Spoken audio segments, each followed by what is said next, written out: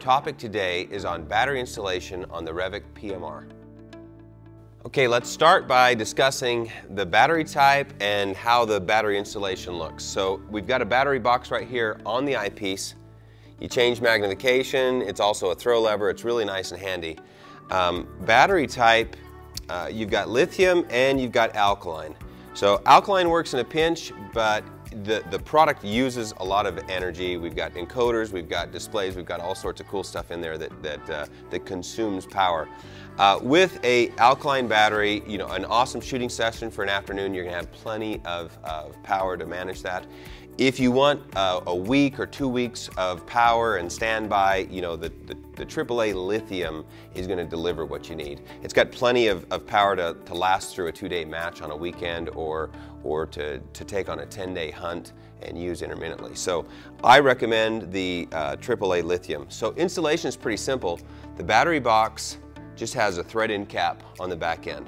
So just thread the cap out and then we'll install the battery. Now, it's got uh, polarity protection, so if you put it in backwards, it doesn't hurt anything, but it won't power up. So we want the positive end, so that's the male part, the positive end goes in first. So you place that in, and then you take your battery cap and thread it in.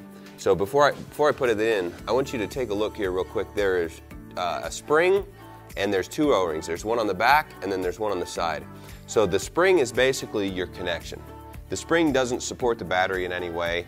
Uh, what we want to do is we want to screw this cap in so that this rear O-ring is compressing against the battery. And we like a little bit of give because batteries swell and shrink based on temperature. Um, and then this last O-ring here at the back, this provides the sealing for the battery compartment. So we do want to have that sealed up.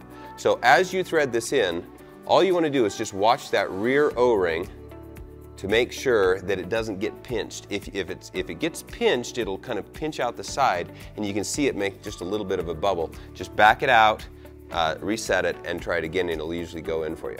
So when you thread this in, the temptation is to just thread it in until it's snug because it's a little small and it's a little cramped space, but make sure you tighten that battery cap all the way until it's completely tight. That'll make sure that we maintain contact with that front O-ring uh, on the battery to hold it in place and make sure that we don't disconnect under recoil. So that's the Revic PMR battery installation.